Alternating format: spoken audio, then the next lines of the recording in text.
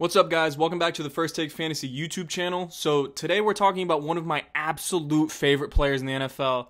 And yes, I told you about Jonathan Taylor. I think he can be special. I told you about Rojo, Zach Moss, DJ Chark. Those guys are going to be pretty good. But this guy, I know for a fact, I know in my heart, I feel this. I have the gut feeling and I have the tape to back it up. He's going to be that dude in the NFL for years to come. And that's Washington Redskins wide receiver Terry McLaurin. So we're going to take a look at his film and you'll see why this dude is special and you need to get him on your fantasy teams for now and forever. He's going to be that guy. Who is Terry McLaurin? He was a third round pick coming out of Ohio State. He didn't really do much while he was at Ohio State, statistically speaking, but he was a freak athlete. And the thing I love the most about him is he's widely regarded as one of the best leaders to ever walk through that football program. And that says a lot about the guy Terry McLaurin is on and off the field, so he's always focused and he's always pushing his teammates to do better. While I don't know how much that benefits from a player standpoint, I definitely can get behind a guy that I believe in his principles and morals and the way he carries himself. This right here is Terry McLaurin's second career catch. What does he do against a division rival? He turns on the Jets, he goes for 69 yards, breakaway touchdown. This is the kind of guy McLaurin is. He's a big play guy, not belittling any other facets of his game, but he definitely thrives in this category. He can separate and he is fast. This is still McLaurin's first career game. Third and four, Case Keenum needs a guy to just go up and get the ball.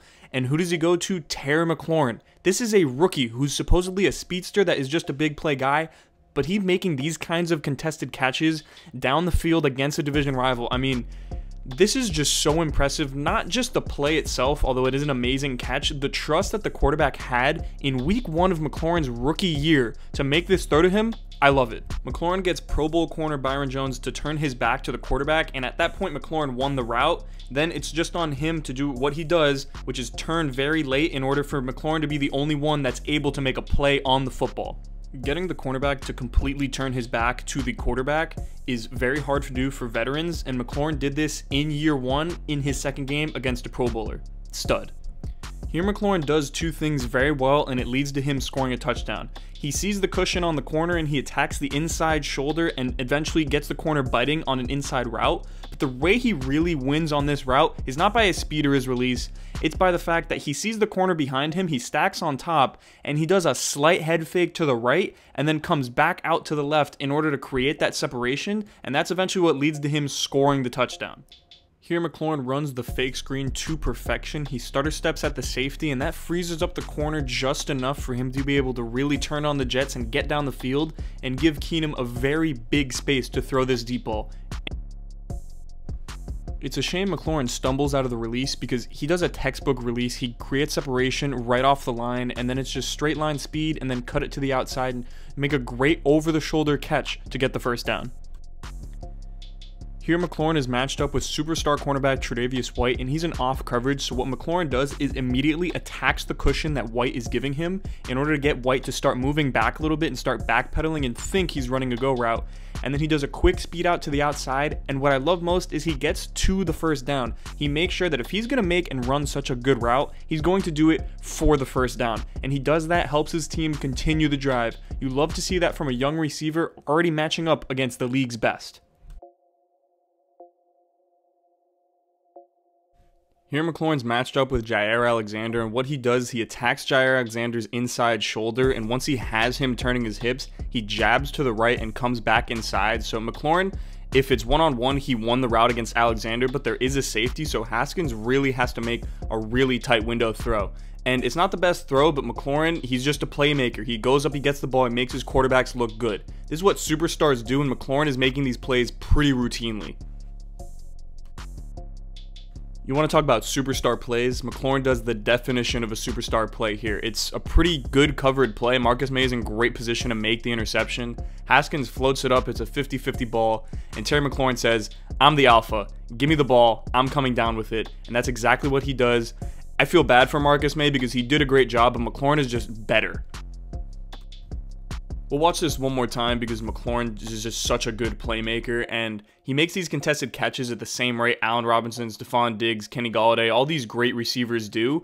And McLaurin actually led the league in contested catch rate 19 contested catch targets, 13 contested catches. That's a really good sign moving forward for a guy who's just supposed to be a speedster. Here McLaurin's matched up in the slot against zone coverage with Luke Kuechly and the safeties, and what he does here is pretty much just get a good first down. It's your routine first down, but there's so much more that he does that veterans struggle to do. And what he does is he runs past Luke Kuechly, and once he has him beat, he does a stutter step to freeze up Kuechly and the safety, and then he creates a window for Haskins to throw the football. And when he does catch the football, he even gets upended and he's horizontal to the ground, but it doesn't matter because he has sure hands and he holds on to the ball. Here McLaurin runs a slant route, has the awareness to make the first man miss, and then accelerates and uses his 4.34 speed to go straight to the end zone, 75 yard touchdown.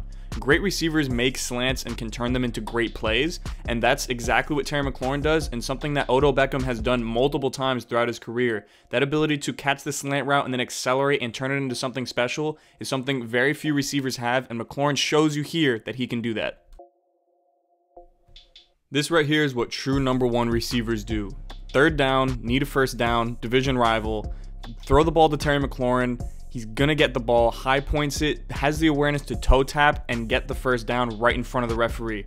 This is truly special from McLaurin. When I see McLaurin on tape, I, I, see a star. It's this guy does not lack in many areas. He's great hands, great contested catchability, great route running, great ability, great speed, great ability to separate. And what I like the most about him is his football IQ. I mean, this guy, he understands the nuance of the football position at a level that I've never seen from a rookie before. I mean, getting to the first down marker, toe tapping out the sidelines, being out of bounds, understanding how to stop and start against zone defenses in order to create a window for your quarterback, leveraging yourself and stacking against man coverage I mean, what you want it, you got it with McLaurin. He can do everything you want from the wide receiver position, and he has all the makings of a true number one receiver in the NFL. And with Dwayne Haskins needing to improve, I think his best bet is targeting Terry McLaurin. He makes throws easy for his quarterbacks, regardless of the coverage. We saw it with Tre'Davious White, Jaire Alexander. I mean, he can do it against the best of the best in the league, and that's something you really want to see for year one, and that's what we saw from McLaurin.